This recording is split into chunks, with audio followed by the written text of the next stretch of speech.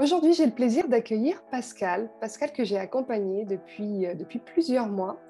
Pascal que j'ai eu le bonheur d'accompagner d'ailleurs, je devrais dire, sur sa partie, sur son activité qui le passionne, la photographie. Donc j'ai demandé à Pascal s'il avait le, temps et l'énergie et l'envie euh, de nous partager un petit peu son, bah, ce qu'il a pu ressentir pendant mon accompagnement, euh, ce qu'il a amené aussi à, progresser, qu'est-ce qu'il a pu en retirer. Donc merci Pascal d'avoir euh, accepté mon, invitation. Bah, merci à toi de, cette invitation. Ça me fait effectivement plaisir de, pouvoir témoigner de cette expérience qui a été pour moi effectivement assez révélatrice. Révélatrice, oui. C'est vraiment le mot. à travers mon programme Révélation, donc c'est assez de, de, jouer sur les mots. Pascal, c'est aussi jouer avec les images, mais aussi jouer avec les mots. On va en reparler. Euh, du coup, est-ce que tu peux nous expliquer un petit peu euh, si tu arrives à te souvenir, parce que je sais que maintenant ça remonte à, plusieurs mois, euh, mm. sur le Pascal d'il y a d'avant mai? Qu'est-ce qui, voilà, à quelle, quelle était la situation que tu vivais à ce moment-là? Et qu'est-ce qui a fait que tu sois venu euh, me, voir? Moi, ça, ça fait à peu près 15 ans que je suis entrepreneur, oui. J'ai commencé à entreprendre euh, en 2005 exactement, donc c'est même un, peu plus de 15 ans. J'ai créé un commerce euh, dans le milieu de l'encadrement. Mmh et j'ai créé ça en étant accompagné, puisque j'ai créé ça en, en franchise, donc avec une franchise qui s'appelait Point Cadre. Et, donc, c'était déjà dans l'univers de, de l'image, puisque moi, je suis passionné de photos depuis euh, quasiment depuis l'adolescence. Donc, euh, mmh. euh, la première fois que j'ai découvert ce, ce réseau-là, j'ai tout de suite compris que c'était mon univers et que, et que j'allais m'y sentir bien. Et j'ai exercé cette activité pendant exactement six ans. Mmh Ensuite, j'ai trouvé une opportunité pour, pour vendre. Euh, donc, j'ai saisi cette opportunité parce que je, sentais que c'était le moment. Mmh et, euh, et, ensuite, j'ai recréé une activité chez moi, mais cette fois-ci tout seul. OK. donc, cette activité, c'était aussi une suite logique, hein, puisque je, je, faisais encore de l'encadrement. Mmh et j'en ai profité aussi pour passer euh, à l'étape professionnelle de cette passion qui était la photo et donc de créer en fait euh, un, studio photo euh, chez moi. Donc j'ai exercé en fait les deux activités. D'accord. Et voilà, donc j'ai exercé ça pendant pas mal d'années. J'ai aussi pris beaucoup de temps en fait pour développer ce concept-là parce que j'ai tout créé en fait tout seul. Et quand mmh je dis tout, en fait, c'est y compris, je suis parti pour créer mon studio d'un garage où il y avait juste les murs et, et, le toit. Et donc, j'ai aménagé euh, tout tout seul. Mmh donc, j'ai laissé beaucoup d'énergie, je pense, euh, dans cette aventure. Et, euh, et ensuite, je ne sais pas, mais je crois qu'il y a eu un blocage au moment où j'ai dû développer cette activité-là. Quelque chose qui me disait que au final, c'est pas ça que j'attendais. Euh, j'avais pas envie, si tu veux, de reproduire le schéma euh, que j'avais déjà connu euh, quand j'avais créé mon commerce, où j'étais euh, mm, seul, un peu enfermé dans mon atelier, mmh et j'avais, je pense, besoin de, davantage de liberté. Mmh. Ouais, soumis à des commandes, et puis oui, rester chez toi, effectivement. Ouais. Mmh. Et, je pense que voilà, psychologiquement aussi, il y a, eu ce frein-là qui m'a qui m'a empêché de, développer vraiment, euh, comme mmh. j'aurais pu l'imaginer, cette activité de, de, de, photographe. Et puis, euh, je cherchais aussi, euh, je cherchais beaucoup à, trouver mon style et à trouver ce qui me faisait vibrer dans la photo. Mmh. on m'a souvent dit que pour percer dans la photo, il fallait se spécialiser. Et donc, j'ai cherché, euh, j'ai cherché justement dans quel domaine j'allais pouvoir euh, me spécialiser. Mmh. Et, et comme moi, j'ai plutôt, voilà, je, suis un, multipassionné, donc euh, j'ai exercé plein de métiers dans ma vie. Mmh. Et, et, pour moi, se spécialiser, c'était compliqué en fait. Hein. J'ai essayé, bah, j'ai suivi plein de formations, j'ai fait de la photo de mariage, j'ai fait de la photo de produits, j'ai fait, je me suis même formé à la photo culinaire, enfin, j'ai fait plein de choses. Mais euh, à chaque fois, il y a quelque chose qui, qui bloquait pour, pour développer parce que je sentais que ça ne me correspondait pas. Et voilà. Et donc, après, je me suis tourné aussi sur les réseaux, sur, sur comment je pouvais développer une activité aussi en ligne. Mmh donc, j'ai suivi pas mal de, de marketeurs, de, de, personnes sur YouTube. Mmh et c'est là que j'en suis arrivé à te découvrir. voilà, donc je t'ai suivi pendant quelques années, enfin deux ans exactement, avant de, sortir de l'ombre. C'est ça. Et, je précise que pendant deux ans, je n'ai eu aucune nouvelle de Pascal. Pascal était un fidèle lecteur, mais je n'avais aucun. Bah, je t'ai découvert quasiment du jour au lendemain suite à un long mail que tu m'as fait pour te présenter. Exactement. Ouais, alors c'est vrai qu'en plus, bon, moi, avant de te contacter, je n'étais pas du tout euh, branché réseaux sociaux. Donc, euh, c'est vrai que mmh. j'avais des comptes euh, ouverts sur Facebook ou sur Instagram, mais je, je, je, voilà, je, ne publiais quasiment jamais rien. Et, tu me suivais en fait uniquement avec ma newsletter, en fait, c'est ça hein. Oui, moi je t'ai suivi. Alors, au départ, essentiellement avec la newsletter, et puis à un moment, tu as créé un groupe euh, Facebook mmh qui s'adressait justement aux multipassionnés. Ah oui, oui, oui. Bah, oui. Et, c'est là que je, t'ai aussi découvert un peu plus. Euh, et je me souviens en fait qu'en début d'année 2021, euh, mmh tu as fait plusieurs interventions, plusieurs lives sur des sujets qui m'avaient parlé. Je me souviens notamment d'un live sur l'instant de flow qui me parlait beaucoup parce que c'est quelque chose que moi je ressentais au moment où j'écrivais. Mmh. Cet instant de flow où je pouvais passer des heures euh, sur, sur l'ordinateur, porté par l'inspiration du moment. c'est quelque chose aussi que je ressens quand, je, quand je travaille sur mes photos. Donc, c'est quelque chose qui m'avait beaucoup parlé. Et, euh, et, à un moment, je ne sais pas, j'ai senti un appel en fait. Euh, j'ai senti un, un, appel en me disant, euh, je pense que c'était post-Covid. Mmh je me suis dit là maintenant, voilà, il, faut, il faut que tu fasses quelque chose pour, pour développer un, projet qui, qui, qui, qui, te tienne à cœur. Et, et, et c'est là où j'ai, voilà, je, je, je, me suis replongé dans tout ce que tu faisais. Et, et j'ai senti que c'était voilà, toi la bonne personne que, je suive pour, pour m'accompagner. Est-ce que du coup, quand tu es venu, tu n'avais pas forcément d'idée en fait? C'est-à-dire que tu avais la photo comme passion, ça c'était sûr, mais tu savais pas en fait, grosso modo, comment en tirer vraiment une activité rémunératrice? Alors, euh, oui, alors c'est vrai que la photo, moi j'ai exercé euh, d'un point de vue professionnel euh, essentiellement dans avec des, des, créateurs, mmh soit des artisans d'art, enfin essentiellement des artisans d'art. et c'est un milieu dans lequel j'avais du mal en fait à, me projeter. Et, et, donc, c'est aussi la raison pour laquelle je t'ai contacté.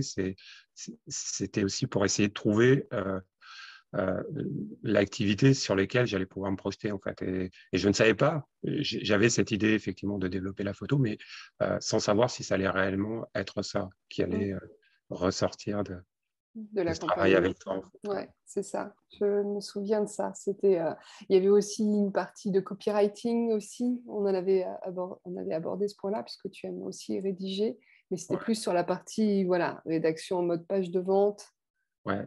Oui, oui, ça, enfin, moi, ça me, ça me fascinait en fait, les, les, personnes qui effectivement arrivent à, avec les mots à, à jouer euh, sur la psychologie humaine. Hein, il ne faut pas se le cacher. C'est vrai que les, les, copywriters jouent beaucoup sur des, sur des ressorts psychologiques pour réussir à, créer leur page de vente et, faire en sorte de déclencher euh, euh, une action.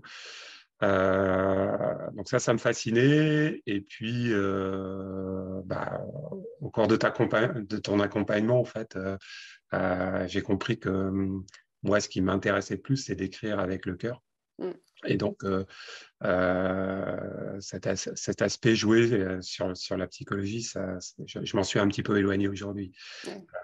voilà, donc je, je, je, je, penche plus sur le côté storytelling, c'est-à-dire mmh. raconter des histoires. Moi, ce qui m'intéresse, c'est ça en fait, mmh. c'est de faire des rencontres, de rencontrer des personnes, de découvrir leur univers et de raconter leur histoire au travers, euh, euh, au travers des photos et au travers des mots aussi. Euh. Et puis ouais, au travers de ce que tu as pu capter. Quoi. Mmh. Tout à fait. Ok. du coup, avant d'expliquer un petit peu ce que, ben, on va dire, ton bel accomplissement, est-ce que tu peux expliquer un petit peu ben, cet accompagnement, en quoi ça consistait, comment tu l'as vécu aussi, qu'est-ce que tu en as retiré? Alors, la, première étape qui a été très importante, c'est un travail que tu, fais faire dans ton accompagnement pour essayer de découvrir quelles sont en fait nos valeurs hautes mmh, mmh. et découvrir justement ce qui, ce qui nous tient à cœur et ce qui nous fait vibrer. Et, et en faisant cet exercice-là et en le reprenant ensuite par la suite, parce que j'ai, moi, la façon dont j'ai travaillé avec toi, c'est que donc tu fais des, des séances individuelles que, qui sont enregistrées. Mmh et qu'on peut ensuite euh, reprendre et, réécouter. Moi, ça, a été un travail important parce que déjà, ça m'a permis de travailler sur moi, sur mon apparence, sur le fait de me voir et de, de, m'entendre. Ça, c'est t'entendre, c'est pas évident. Mais ça, c'est évident pour personne, je trouve.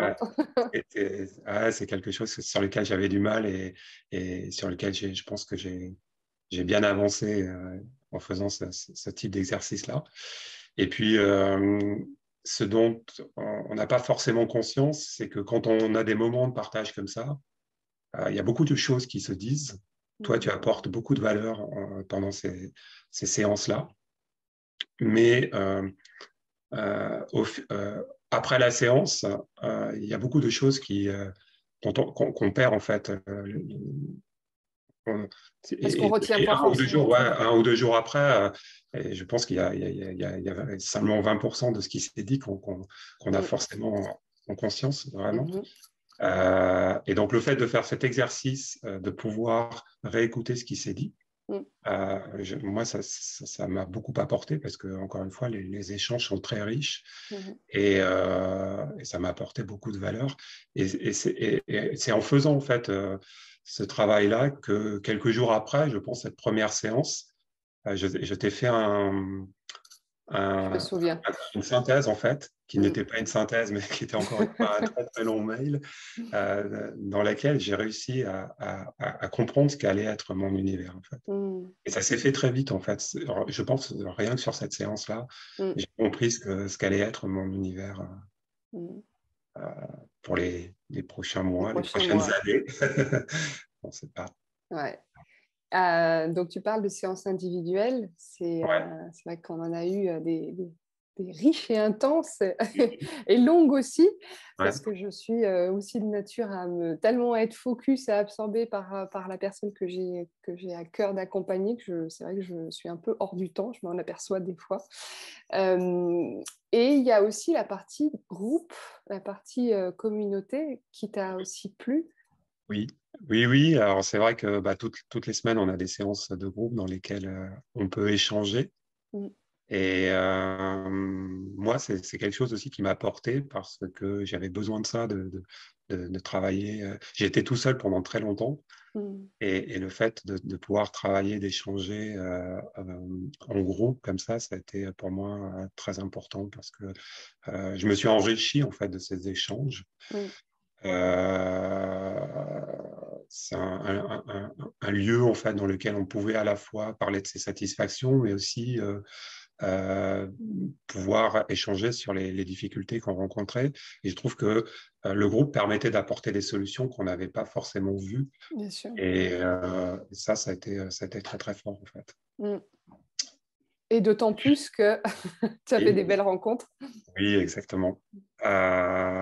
j'ai, oui, j'ai rencontré effectivement des belles personnes et une en particulier qui m'a permis de construire mm. mon univers.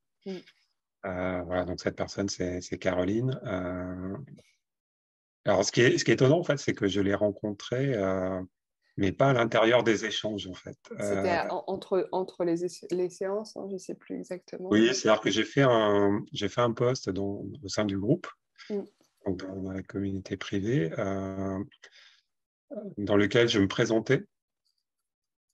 Et, et Caroline, c'était un moment où elle était pas présente en fait dans le groupe. Enfin, au niveau des échanges, je pense qu'elle était en vacances. Enfin, bon, mm. et les, les, premiers, les, premières réunions, elle n'était pas présente. Et quand j'ai fait ce poste, elle a réagi tout de suite en commentaire. Et là, j'ai senti un appel, en fait. Et, et on s'est vu très, très, très vite, tous les deux en visio. Et on a su immédiatement qu'on allait travailler ensemble, malgré, malgré le fait qu'elle est très, très loin de moi, puisqu'elle habite à Porto et moi, je suis à Paris. Mais on savait qu'on allait travailler ensemble. Et, ça s'est fait bah, deux mois plus tard. je suis allé à Porto pendant un, un séjour d'immersion où j'étais euh, chez elle. Euh, j'ai baigné dans son univers pendant euh, pratiquement trois jours. Mm. Et, donc, j'ai pu la photographier voilà, pendant, pendant ces, ces trois jours-là, dans le cadre de son activité. Mm. mais aussi faire des photos en famille, et, pour elle, ça a été très fort parce que du coup, elle a, elle a eu, euh, quand je lui ai transmis les photos, elle s'est vue, elle, euh, entièrement en fait. Euh, à la fois la Caroline qu'elle était lorsqu'elle était avec ses, ses clients, mmh mais aussi la Caroline qui, qui était là et qui regardait sa famille, qui regardait ses enfants. Et le fait que j'ai réussi aussi à capter ce regard-là, mmh. c'est quelque chose qui l'a beaucoup touché, je pense. Mmh et euh, voilà, et le témoignage qu'elle m'a fait, c'est que euh, c'était la première fois en fait qu'elle qu'elle se voyait elle vraiment entièrement, et, c'est la première fois qu'elle se reconnaissait à travers des photos. Euh, et donc ça, pour moi, ça a été très très fort parce que euh, j'ai vu qu'au-delà des photos, moi j'imaginais en fait faire des photos, accompagner les personnes pour qu'elles puissent avoir de la matière pour pouvoir communiquer ensuite sur les réseaux, pour pouvoir euh, voilà, se, se révéler aux autres. Mais j'ai compris à ce moment-là que le travail que je faisais, c'était aussi une sorte d'un travail d'introspection et de mm. permettre en fait, aux personnes de se voir vraiment. En fait. Et ça, c'est mm. quelque chose dont j'avais pas nécessairement confiance avant de, faire ce travail-là avec Caroline. En fait, c'est ça qui est incroyable, c'est que bah, il y, a ce côté théorique et on se dit tiens finalement je pourrais effectivement m'autoriser à évoluer. Alors c'est ce qu'on a fait tous les deux, hein. c'est vraiment de travailler sur quelque chose un peu de pas hors norme, mais en tout cas quelque chose vraiment qui toi taille à toi par rapport à ton univers. Et, mais c'est qu'en testant, en allant sur le terrain, qu'on s'aperçoit que oui, c'est possible. Tiens, effectivement, je peux peut-être réajuster. Tiens, j'avais pas perçu ce côté immersion. Euh, et en fait, c'est marrant parce qu'au début de l'interview, tu disais que ben, au départ, tu étais sur cette activité où tu étais très isolé, tu étais chez toi. Et puis en allant là, du coup, en allant mmh. voir Caroline jusqu'à Porto, je pense que c'est vraiment là où ça t'a peut-être confirmé, parce que tu l'avais sans doute quand même conscientisé, cette nécessité pour toi de, voilà, de, parcourir, en fait, d'aller sur les chemins, d'aller vers les autres, de, mmh. découvrir les univers. Hein. Et, et, en fait, je me suis aperçu que hum, quand je faisais de la photo avant, le, moment où j'étais le plus créatif, c'était justement le moment où, j'étais en voyage. Ouais. Alors que faire de la photo chez moi au quotidien, c'est pas quelque chose qui me porte. Mmh. Mais par contre, effectivement, quand, quand je suis à l'extérieur, mmh.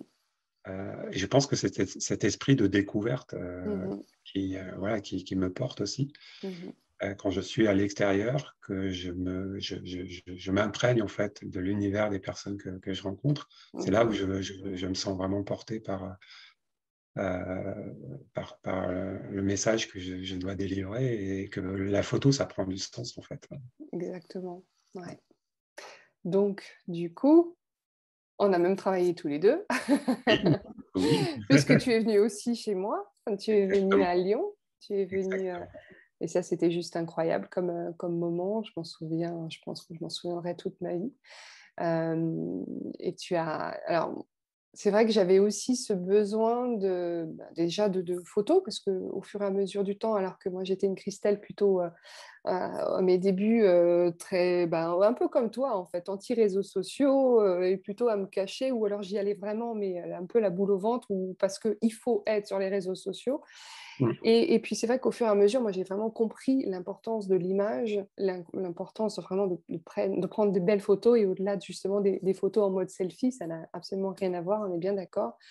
Et donc j'ai commencé à travailler avec des photographes et c'est vrai que du coup, en t'accompagnant, j'ai découvert ton univers, ce que tu avais à cœur de transmettre, est-ce que surtout cette envie en fait de capter les moments, de capter l'émotion, capter le, spontané. Mmh. Et, c'est vrai que moi, je m'en rends compte en fait dans, dans, dans, les communications, ce qui fonctionne le mieux, c'est justement pour arriver à connecter avec notre public et, partager mmh. notre univers, c'est être soi en fait. Mmh. Et, justement ne pas être dans des positions figées quand on, bah, quand on se fait photographier. Et c'est vrai que j'ai adoré, on va dire vraiment, voilà, le, message que tu avais envie de, de, transmettre et, la façon dont tu allais procéder. Donc du coup, je t'ai proposé de venir sur Lyon. On a vécu euh, deux jours, je crois. Enfin, en tant que. Non, je, trois jours. Je suis venu sur trois jours. ce qui s'est passé, en fait, c'est que tu m'as proposé euh, de participer à un atelier. Mmh euh, oui, d'huile essentielle. Voilà, sur les huiles essentielles, euh, parce que tu sentais en fait qu'il pouvait y avoir de belles connexions qui, qui se créent lors de cet atelier. Mmh Et moi, je me souviens en fait que ce que je t'ai partagé, c'est que ça me semblait délicat en fait de, de, de, venir te photographier dans cet atelier alors qu'on allait être entouré par d'autres personnes. Mmh. Et, du coup, ce que j'ai proposé en fait, c'est de faire un reportage euh, de cet atelier. Voilà, et donc, euh, auprès de l'organisatrice. Donc, euh, exactement. donc, tu as trouvé en plus une autre cliente. c'est vrai que c'était incroyable parce que du coup, je me suis connecté donc, avec Ismeri euh, et ça s'est passé de manière très très fluide. Elle a été tout de suite OK pour, euh, pour faire ce, reportage. Et, euh, et, du coup, voilà, il en est ressorti aussi bah, des, des, belles photos avec toutes les participantes en fait à, cet atelier, mmh. qui était très chouette. Et, et ça, ça m'a donné encore un, un, autre aspect. ça m'a apporté oui, un autre aspect sur le travail que je pouvais développer. Mmh C'était euh, une, immersion de groupe aussi que je pouvais aussi euh, être amené à, proposer.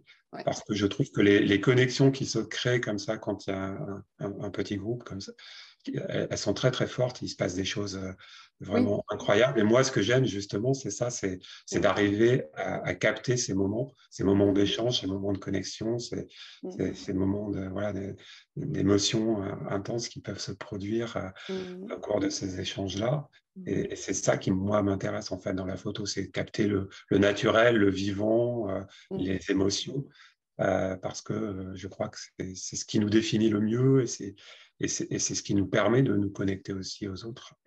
à travers notre authenticité, ouais, c'est ça. Exactement.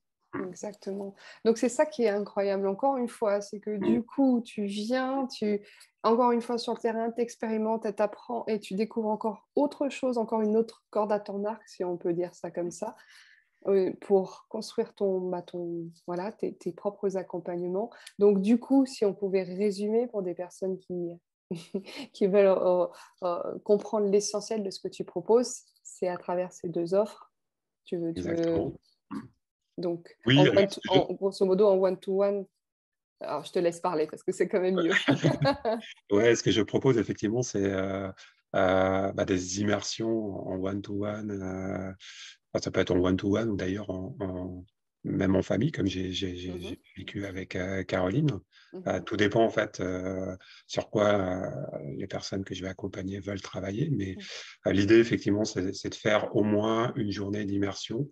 Alors pourquoi je propose une journée? Parce que euh, moi, ce que j'invite à faire au cours de ces expériences, c'est d'inviter au lâcher prise et de vivre une expérience euh, qui, euh, qui, vous, enfin, qui ressemble en fait à, qui ressemble à la personne que j'accompagne, une expérience qui vous fait vibrer en fait. Et, et ben, je me souviens que pour toi, l'idée, c'était de, euh, de faire une journée où tu, m'amènes à la découverte de Lyon, parce que c'est mmh aussi ça qui te, qui te fait vibrer, c'est euh, mmh. tu es passionné par, euh, par cette ville-là, et tu aimes faire découvrir cette ville-là. Et donc, pendant mon immersion avec toi, c'est ce qui s'est passé, tu m'as fait découvrir Lyon. Et donc, on a passé une journée ensemble mmh. qui était effectivement formidable, où, où j'ai découvert cette ville-là que je ne connaissais pas du tout. Et tu m'as amené dans des endroits qui, voilà, qui, qui, qui, que tu aimais, qui, dans lesquels tu aimais te, te retrouver et, mm. dans lequel tu te sentais toi vraiment. Euh, mm. et il y a eu, et en même temps, c'est laissé porter, c'est-à-dire qu'il n'y a, pas eu de moment euh, où très, on, s'est laissé porter par l'événement en fait, on s'est laissé porter par cette journée-là, et ça nous a amené aussi à découvrir des lieux qu'on n'avait pas forcément imaginé à visiter. Et c'est aussi ça l'esprit en fait que je souhaite développer, c'est euh, d'essayer de d'imaginer une expérience. Donc ça, je le fais en travaillant sur un sur un, tableau de visualisation. C'est ça, c'est qu'en plus, toi, tu, tu, prépares vraiment cette, cette immersion en amont avec nous déjà pour nous aider à, visualiser effectivement cette, cette journée qu'on va vivre avec toi. Ça, c'est vrai que j'ai beaucoup, beaucoup, beaucoup aimé ce, travail préparatoire. Ça m'a permis de me projeter plus facilement et quelque part même de lâcher prise d'ailleurs. Et puis après, effectivement, la journée comme on l'a vécue ensemble. Voilà, donc après, c'est euh, du sur-mesure, c'est-à-dire que c'est la personne en fait qui, euh, qui, qui, qui, définit ce qu'elle a envie de vivre et, et moi, je, je pars, je, me plonge dans son univers et, c'est ça que j'aime aussi en fait, c'est découvrir l'univers et, et, capter ces moments voilà, de, de vie hein, qui sont euh, euh, comme une parenthèse en fait euh, dans, dans, dans, dans la vie d'un entrepreneur. Mmh. C'est aussi ça en fait que, que j'essaie d'apporter, c'est-à-dire qu'au-delà des photos, c'est d'offrir aussi cette parenthèse de vie et cette journée voilà, qu'on va garder en souvenir grâce aux photos aussi. Voilà, donc ça, c'est l'immersion euh, en one-to-one, du coup. Et ce que je propose, du coup, aussi, c'est euh, bah, une immersion de groupe. Et donc là, c'est plus un, travail en, partenariat euh, avec des entrepreneurs, des coachs, des thérapeutes qui mhm. vont eux-mêmes avoir l'intention en fait, de créer une immersion pour leurs clients. Mhm. Et ce que je propose, en fait, c'est de participer en fait, à cette immersion et de pouvoir en capter en fait euh, euh, les moments euh, forts, les moments de connexion, un peu comme ce que j'ai fait effectivement dans cet atelier sur les huiles essentielles, c'est de, de, capter ces connexions, ces moments de d'émotions aussi qui, qui peuvent se qu'on peut avoir en fait au cours de ces, ces, connexions-là, de ces, ces mmh moments d'échange. Mmh et, et, et, en plus, effectivement, de, de, de, ces photos qui vont permettre de témoigner de, de, cette immersion, de pouvoir aussi communiquer sur ce que sur ce qu'on fait au travers de ces immersions-là. Euh, l'idée, c'est aussi de pouvoir offrir en cadeau en fait, à tous les participants ah euh, des photos euh, d'eux et de repartir voilà, avec des belles images de, ce moment c'est ça. vécu. Super, bravo. ça paraît très fluide en fait, très cohérent en fait. Tout ce que c'est vraiment un univers que tu t'es constitué au fil, au fil de ces derniers mois et qui prend tout son sens parce que collé à, à toi en fait, à ce qui t'anime, mmh. à tes, à, tes, à tes valeurs. Mmh. Et euh, je trouve ça juste magnifique et c'est c'est beau aussi parce que tu vois quelque part c'est de se dire on peut s'autoriser à vivre de ses passions vraiment. C'est et en particulier dans la photographie, parce que combien de personnes sont intéressées, sont vraiment passionnées par ça, mais s'imaginent un certain modèle, en fait, en se disant, bah voilà, c'est comme ça. C'est ça. Moi, c'est vrai que, bah, encore une fois, toutes les formations que j'avais suivies, on me disait qu'il fallait se spécialiser, mais aussi quand on faisait du, euh, du portrait, euh, ce qu'il fallait aussi apprendre, c'est à diriger un modèle. Et ça, c'est quelque chose qui, mmh. euh, qui, qui, qui, qui, me parlait pas du tout parce que bah, moi j'ai fait beaucoup de photos, notamment au travers des, clubs photos. On faisait des séances comme ça avec des modèles. Et, et, moi, c'est quelque chose qui, sur lequel j'avais du mal. J'arrivais, j'arrivais pas en fait, et je comprenais pas pourquoi j'avais, j'avais du mal à, à, faire cet exercice-là de, de, direction de modèle. Mmh. Euh, alors déjà, bon, moi, déjà photographier des modèles en soi, ça m'intéresse pas beaucoup. Ce, ce qui m'intéresse en fait, c'est photographier des, vraies personnes en fait, et des, personnes authentiques. Mmh et, et, je me suis aperçu qu'en fait, au travers euh, euh, cette connaissance de moi que que, que j'ai fait, ce travail-là sur moi que j'ai fait avec ton accompagnement, euh, c'est pas ça dont j'avais besoin d'être formé à ça. Ce que j'avais besoin, c'est justement de pouvoir capter ces moments de vie mmh et donc de laisser la personne s'exprimer et de mmh. pouvoir capter ces moments. Mmh.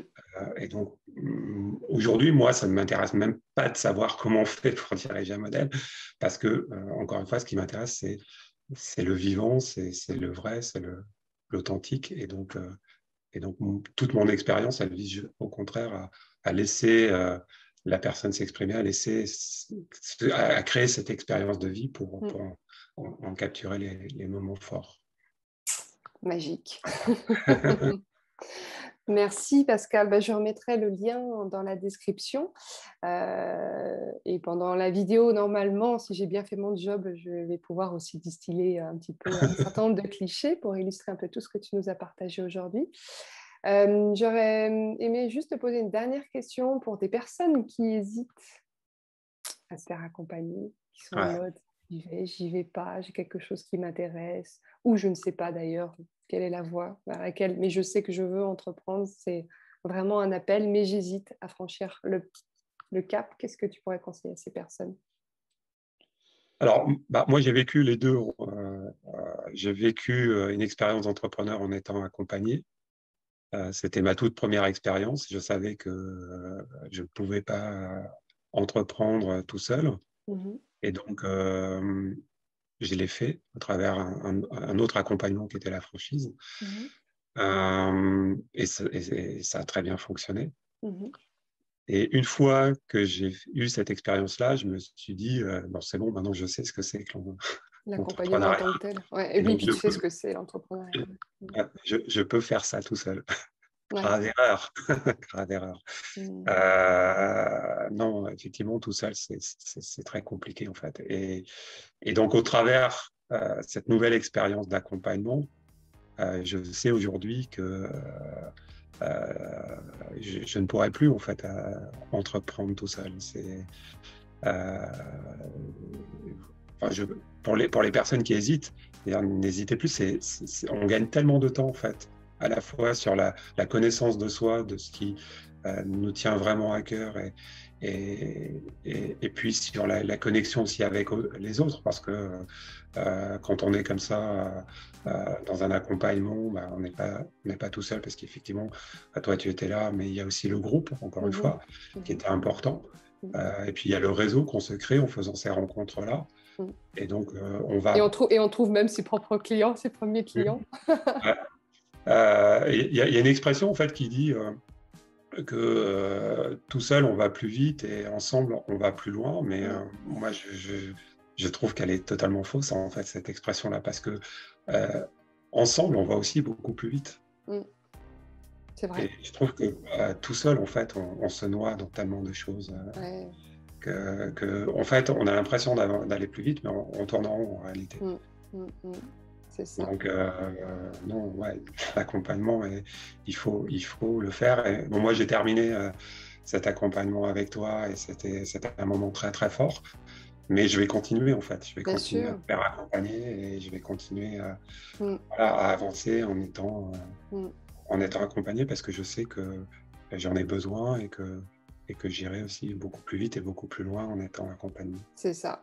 Nous sommes des éternels apprenants. et, et, ce sont les plus beaux cadeaux qu'on se fait au final, hein, quand on prend maintenant du recul. Hein. Mm. Un grand merci, Pascal. Bah, merci à toi. Donc, du coup, pour te retrouver, euh, je mettrai le lien de ton site. On peut te retrouver aussi sur les réseaux sociaux maintenant. Exactement. Sur, alors, principalement sur Facebook, mais je vais aussi euh, développer un peu euh, Instagram. D'accord. Euh, parce que j'ai encore un petit peu de mal avec cet outil, mais je vais y travailler là, début 2022. Je, J'enlève tous les blocages qui, que j'ai encore par rapport aux réseaux sociaux. réseaux sociaux. Et du coup, au niveau de ton nom, c'est Pascal Frémenteau Pascal Frémenteau, voilà. D'accord. .fr pour, pour le site et puis pour les réseaux, c'est pareil. C'est pareil. Parfait. Un grand merci, Pascal. Merci à toi. À bientôt. À bientôt.